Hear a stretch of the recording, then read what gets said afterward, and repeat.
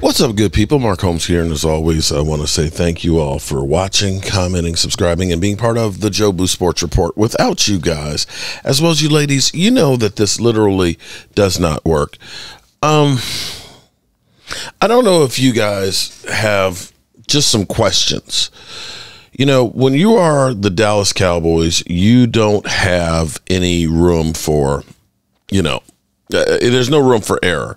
That generally speaking, they're always looking for something uh, with the Cowboys to say, yeah, there they go. There's the Dallas Cowboys. I'm trying to understand here still with the Michael Irvin situation that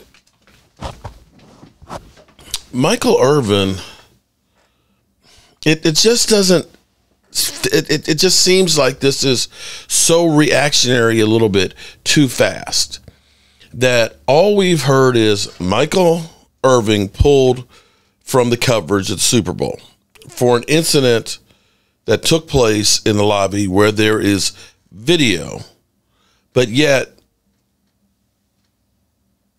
what transpired? What transpired that he has literally been pulled from his job that happened in public? From what we've heard, there's nothing physical in there um, that he admit that you know I'm coming back from the hotel, you know, the hotel after we taped some stuff and um, you know had a few to drink. There was nothing physical. So what did what what, what transpired? Th- this is Michael Irving in his own words about the incident that his discussion on the fan yesterday. There's a lot going on. There's a lot going on. I don't know whether you guys heard it or not, but that, that wanted to do the show just to share with you. You know, I don't know if you that you guys haven't heard that that Sunday night when I went out and came in Sunday night, and this is tripping me out because you know I with Michael Brooks came in, we had uh and I don't remember it, but but I, I guess when I came in, they said because they asked, they said, "What'd you do?" I said, "I went straight to the room." But I guess I had met somebody in the lobby, talked to to somebody in the lobby for about a minute, and then I went to my room. And then after I got off air and got to work, they said, uh, "Come on, we got to move you in a hotel." I said, "What? Move me in a hotel for what?" So they moved my hotel, and I said, "What's going on, guys? What's going on? What's happening? Why we move a hotel?" And they said, "Well, that, that the last night you walked in, you talked to somebody." I said, "I didn't talk to anybody. I went straight to the room." And and then they showed it on camera that I did talk to somebody. I talked to his girl for about a minute. I don't I don't know what they didn't show it to me. They told me, and I didn't see it. I don't I don't know what she looks like or anything. But that's why they moved me. That's why they moved me because I guess the girl said I said something to her within that minute that that we talked and you know so they moved me. So I I, I thought you guys would have heard about it. That's why I wanted to come on and talk to you guys about it. But but yeah, I, I, I don't know what's the plan for the rest of the week. Which that's why I said I'm kind of in hiding till we figure all of that out. No, we had not. No idea. No headline. No Yeah. news story. Yeah, well, you, you well, I'm giving it to you. You should be hearing it, or you should know about it, because that that's exactly what's happening. And that's why I'm saying I'm just kind of hiding and waiting to see how it comes, how everything comes down. And you know, you know, you're in this this world here. It was a 45 a minute meeting somewhere in the lobby. In the lobby, I don't even remember it really because I had a few drinks to tell you the truth. you know, I had a few drinks to tell you the truth. I don't really remember, it, but but that's what they said. So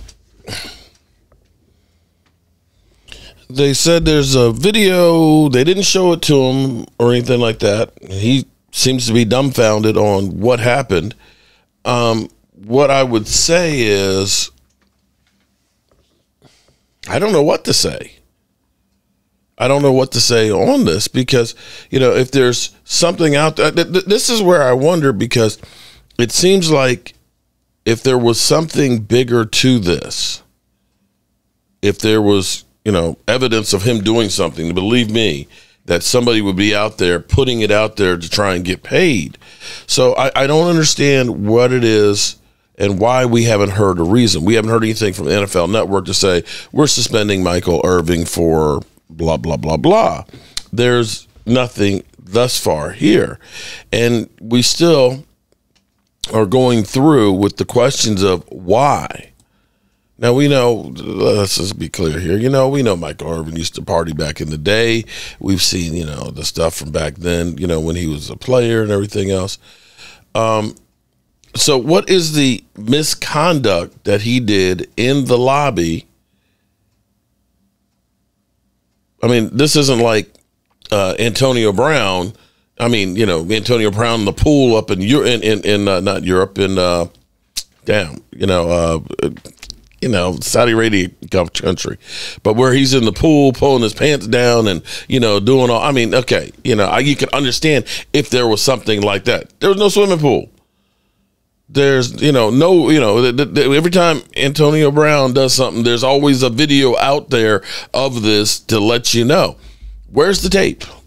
You know, if you are taking the man out of his job, okay,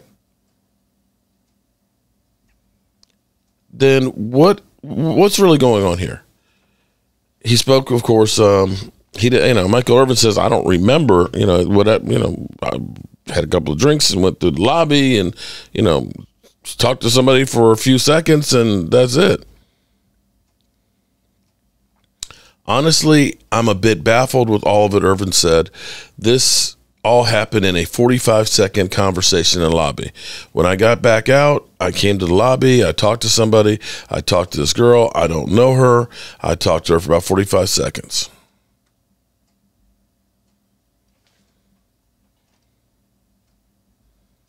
So if you had Michael Irvin scheduled to be part of your Super Bowl coverage, your Super Bowl team, you would see, and, and, now all of a sudden you're pulling him through here, especially a high profile individual. It seems like, you know, uh, you know, ESPN and NFL Network both have pulled him.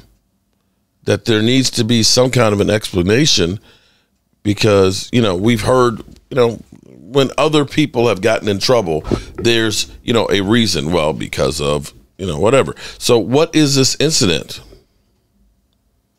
that that this quickly, this quickly, that immediately from Sunday to Monday to Tuesday, boom, we're pulling you. You're done. Uh, it just seems like it's a little too quickly here, and this is where you kind of have. Um, kind of some questions on here.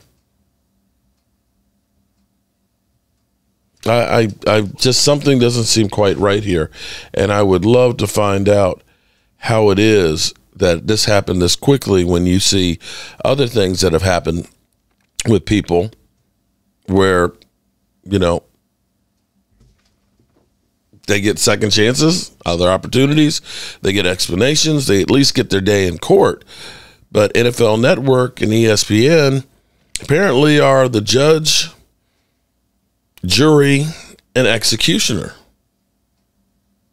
So I don't know. I don't know. I'd like to know more on this one, you know, to see if this is actually justified or not. Oh boy. All right, good people. I'm going to go up here and get ready to cook something good for dinner. Um, we've been working on our keto or not keto, but we're actually working on trying to eat better and find to make some better choices and stuff.